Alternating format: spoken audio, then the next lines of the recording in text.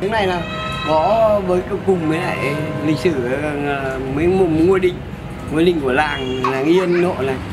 Cái giếng này là để làm gì đây? Là thứ nhất là để lấy nước để vo gạo cái gì ngày tuần, tức là mùng một, ngày rằm, hoặc là những cái gì đó để ở trước ở đây là nó còn có một cái, một cây đại. Có một cây đại nhưng nó có một cái một cái bia như rằng người ta chuyển hết gia đình rồi cả một cái cối đá, tức là múc nước ở đây để vo gạo để xong rồi mang gia đình tế lễ.